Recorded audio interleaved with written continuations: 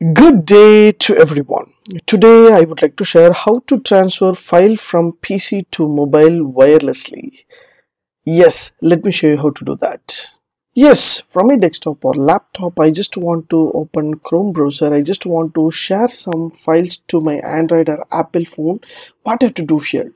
So without cable, without uh, any other software installation I just want to make uh, the file should be transferred from my PC to my mobile phone what I have to do here? So this is a simple and easiest way. On your browser just type snapdrop.net so you will find option called snapdrop.net this is the website. I have given the description link. Just click the link. That link will direct you to the snapdrop website. First and foremost you need to have uh, both systems should be connected with a same wireless. That is wireless connectivity. For example same network. My phone also in wi-fi as well as my laptop also in wi-fi.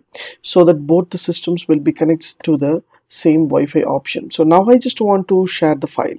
First and foremost, you just open your phone browser and just type a snapdrop.net the same thing whatever you are doing here the same snapdrop just click the snapdrop net automatically you will get your phone details that is amaranth cat android k so if you have your iphone that also will connect here.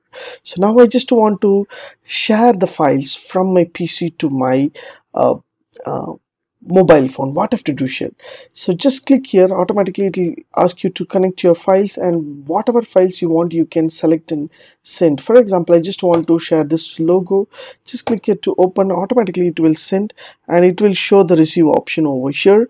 So just click here to save automatically it will download your files.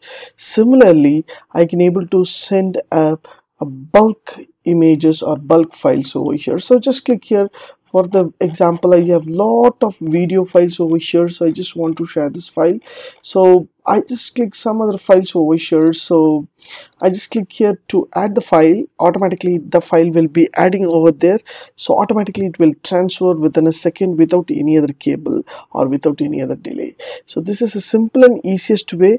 You can able to identify and you can able to get the file easily. If you like these tips, please share with your friends, subscribe my HowXT channel. Thanks for watching dear friends. Have a great and good day.